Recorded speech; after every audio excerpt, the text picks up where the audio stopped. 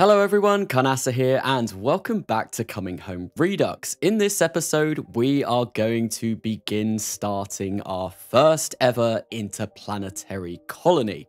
And I'm going to go to Hydrus, because Hydrus, I haven't actually visited that with Kerbals yet, and it also happens to be the next planet on the transfer window list. So what we are going to be doing is creating a new class of interplanetary vessel in order to send a colony all over in one go. It is the Juna class.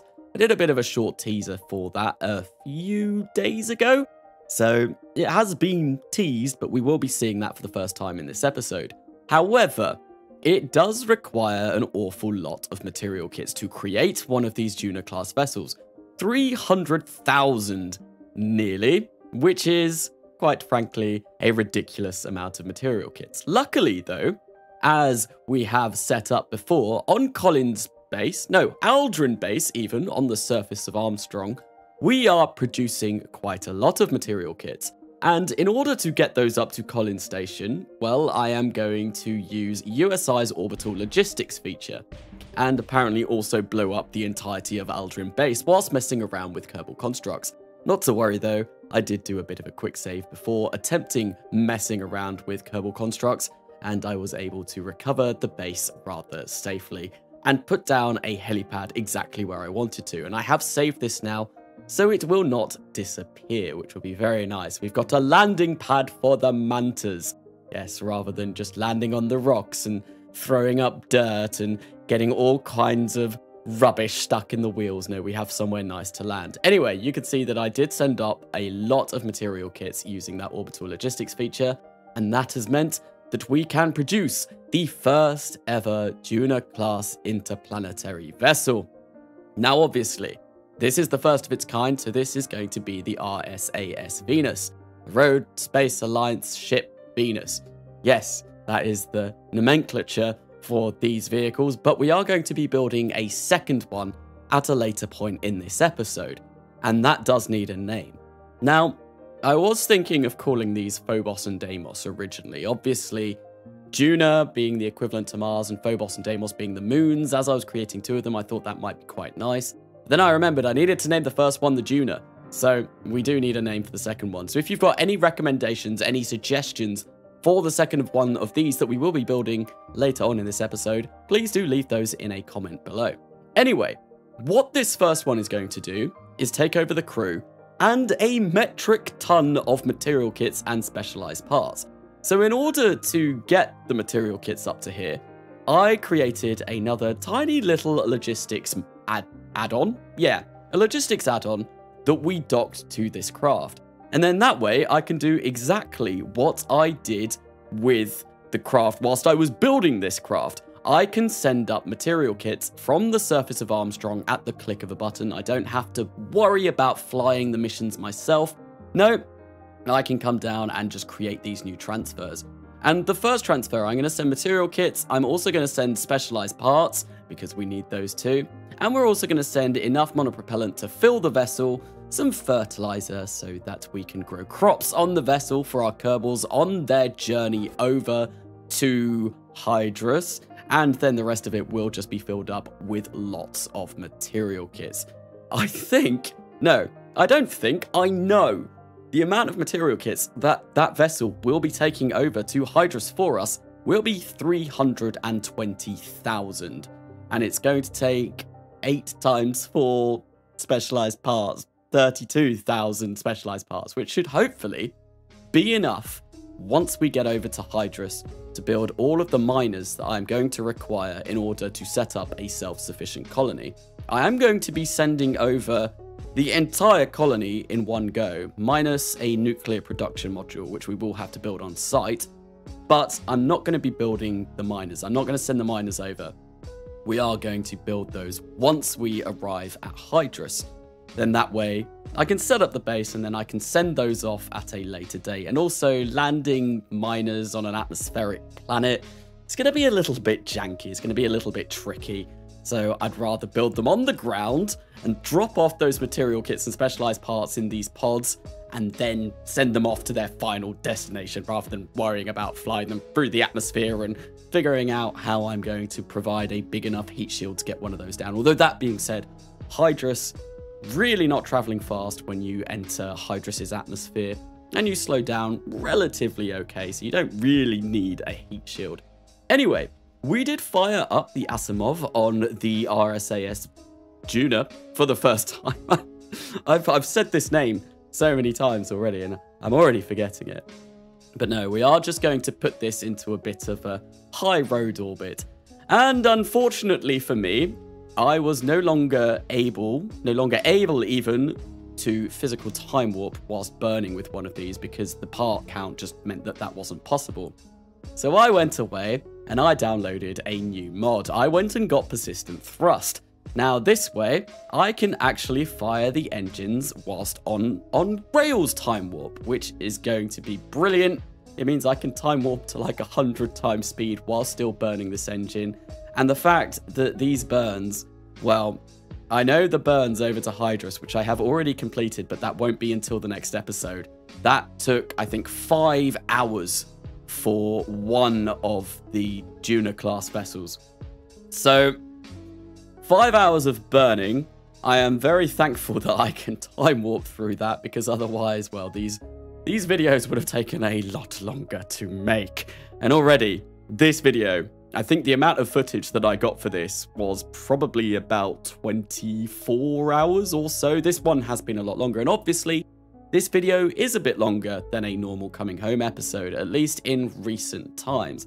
And one of the reasons why I've done this is obviously the views on these videos, they are going down a little bit, and I kind of wanted to maybe throw a spanner in the works, try and throw things up a little bit to see if maybe having a bit of a longer video kind of does a little bit better. But let me know once again in the comments what your thoughts are. Do you prefer the shorter style videos, the 12 minute style videos, or this one, which I think is going to be 22 minutes or thereabouts. So a little while longer more in what I was doing, more in keeping with what I was doing before before I started doing the shorter videos. Yes, the, the before times. Anyway, yeah, but let me know what you think. Anyway, what I am doing now is obviously we have to refuel that vessel with liquid hydrogen. And I thought, well, we want to do it quite quickly. So let's see how much liquid hydrogen we can get up in one go. So I've decided to build a new launch vehicle and apparently I forgot to auto strut it and that caused a rapid unplanned disassembly on the launch pad. Yes, no, that wasn't the best of starts for this launch vehicle, but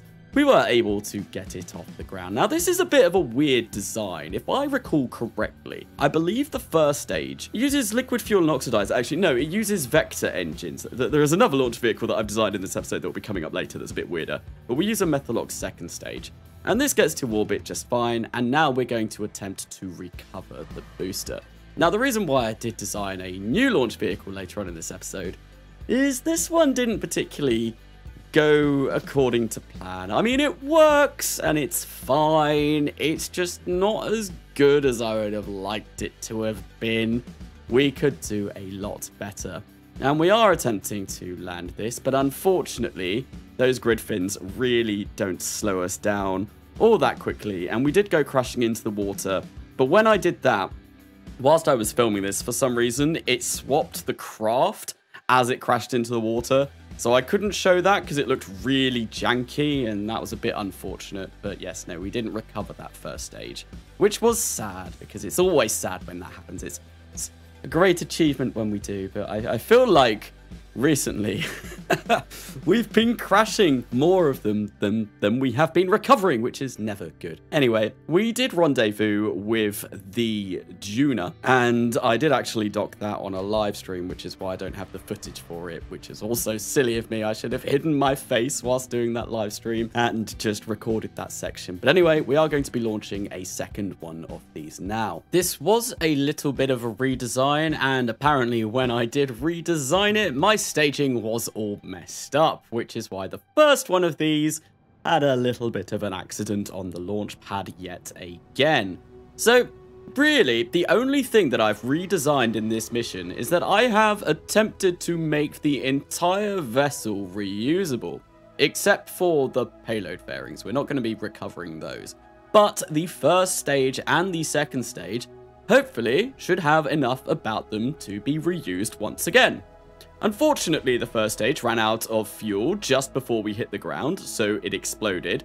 But now what we're going to do is we are going to open up the inflatable heat shield, which we can see, and try and land this. However, we flipped around the wrong way, which didn't burn our vessel up, but once again, the grid fins were way too small to realistically slow us down where we could actually stop and perform a powered landing, which was a bit of a shame. Yes, the whole concept of this vehicle has a lot of work that I do need to do, and I'm not going to be redesigning that. I will be designing something new that we will see later on in this episode. Anyway, we did dock this to the Juno. I, I almost keep saying Venus or, or Eve because that's what the old ones were called and we transferred over the last of the liquid hydrogen. And with two trips, that gives us almost 42,000 meters per second of delta V. So we are going to get these 10 Kerbals out. There's a lot of Kerbals to say in very quick succession, so I'm not going to list all of their names. And we are going to get them on board a swordfish. Now, this is the new nuclear SSTO spaceplane that I've designed for this series. Once again, I did a bit of a short for this to tease this, and that was quite some time ago. This is the first time that we are going to be flying it for realsies in the series, though. And yes, this will be our passenger transport to get up to the Juno, and also we are going to be sending this all the way over to Hydrus. Because I did a little bit of testing with this craft around Hydrus, and it is insanely good for flying around Hydrus. The KARE engines, the atomic ramjets that we have on the back of this, well, they are great in atmosphere. Yes, I, I, had to stop for the music there. They're, they're great in atmosphere because all they require is intake atmosphere and a bit of electric charge. This has a nuclear engine, not a nuclear engine, a nuclear facility, a nuclear power generator. That's the kind of word I'm looking for. A nuclear generator on it powering it. So essentially, with Hydrus's atmosphere, that can fly indefinitely. With the amount of fuel that we have on that nuclear reactor, it could last us years. So it's going to be great for flying around Hydrus. And I did also test out the single stage to orbit capabilities at Hydrus, and it is fantastic. We only require about 400 meters per second of delta V using the liquid fuel on this to actually get to orbit, which is insane. It means that we're going to be able to do trips to and from the surface of Hydrus incredibly easily, which will be very nice considering we are setting up a colony on the surface. Anyway, we did dock the swordfish to the first of the Junas, and now this craft is ready to leave in about 100 days. Yes. I probably should have sent the crew up later, but I was excited to get that swordfish all flown. Anyway, what we're going to be doing now is working on the second Juno class vessel. Now, this contains all of our colony modules that we are going to be setting down. It contains an entire colony in a box. But we are going to have to launch a rather large amount of material kits in order to build that. Because it has an entire colony contained within itself, we need almost 700,000, which is quite a lot more than the original Tuna class that we made earlier on in this episode. So we are going to be launching a new launch vehicle. Now, this is the weird one that I was talking about. I got my launch vehicles messed up. Silly Carnasa. Yes, no. This has liquid hydrogen. It has hydrolox for its first stage, which, when you think about it, hydrolox first stages are usually quite bizarre because they are lower, well, they tend to be lower thrust than, say, Kerolox or, or Methalox. But no, the engines that I use for the first stage of this, they, they definitely are Hydrolox because we can see the LH2 indicator on the left-hand side of the screen there. But they are the most powerful engines that I have. And this was a bit bizarre to me. Yes, no, I, I don't know why that is the case. It, it normally shouldn't be the case, but that's what we're going to use. They're very efficient and they're very powerful. And in order to launch 200 tons, I think this launch vehicle can take to low Rhode orbit, or it might even be a little bit more. Yes, we need very powerful engines. And a great thing about this launch vehicle, as we can see, this has returned to launch site capabilities. I was so close to landing on the landing pad there, but I missed it by mere meters, which was rather upsetting. So we sent the two side boosters back to the launch site, and the core booster, unfortunately, as we did just see, crashed into the sea. Because it was not very well designed, and that happened to be where we ended up landing it. And obviously, sea landings are never good for these. But we are going to be launching another one of these now. The first thing that we sent up was actually a liquid hydrogen tug that we're going to put into low Rhode orbit to begin with, to then send up these massive amounts of material kits, which we can see currently as the payload for this second rocket. Now, they have, if I recall correctly, about 200,000 material kits per launch. And what I'm going to do is I'm going to construct three of those in orbit, and then we are going to move that off and dock to the Orbital Dockyard Alpha, or TRAP, the totally reliable assembly platform, which is where we are building the new Juno class from. I almost once again landed on the launch pad there, and I was so close that I thought, you know what, we're going to try and move that try and actually get it on, but unfortunately, due to skill issue, absolutely due to skill issue, I was I I crashed it into the ground, okay? It was nice and upright, and then me being an idiot decided to move it and I broke it. But we did manage to recover the core boost at that time, which was more than nice, and of course, we got the payload up to orbit, we got it over to that tug, and we docked it, and now we're just going to dock another two that I have launched as well. There we go. This is the third and final one. I was originally going to create four of these, but I think three is going to be enough material kits to actually fully supply the totally reliable assembly platform and build up the new Juno class, the yet to be named Juno. Yes, anyway, we are now burning for the station as we have got this entire thing constructed, and unfortunately, those annular trusses, when tweak scaled down to a minuscule size, are not very good for holding onto 200 tons worth of material kits, and the entire thing got eaten up by the Kraken. Yes, the Kraken really did not enjoy that vessel in the slightest, and no matter what I did, I just could not make that work, so I went back and redesigned the payload. We're not going to send that rather janky looking vessel to dock with the totally reliable assembly platform. No, I just built a rather large material kits on here instead Instead, this is a lot more stable, but we are going to have to do several trips with this to actually get enough material kits to finalize the build. But there we go. We have now completed that, and in its excitement, the totally reliable assembly platform decided to throw away one of its fuel balls. I have no idea what happened there, but this surely was a taste of things to come. Because as we build the Juno, the second Juno class, well, it did not go very well, as we can see. And unfortunately, the entire thing rapidly, unplannedly, disassembledly in orbit. Yeah, that, that, those are words, definitely. And unfortunately, no matter what I did, I could not get that to be built at the totally reliable assembly platform. I think it may be something to do with the fact that this ship is 740 parts, and Trap is 450. All of those parts together really was not very good. So in order to get around that, I did hyperedit one up into orbit. Now, I know it's kind of like, oh, it's cheaty. No, it's, it, I built it, okay? I set up all of the material kits and everything that I needed to build it in orbit. Just the game's limitations were preventing me from actually building that at Trap, which is a bit sad. But anyway, I built it empty.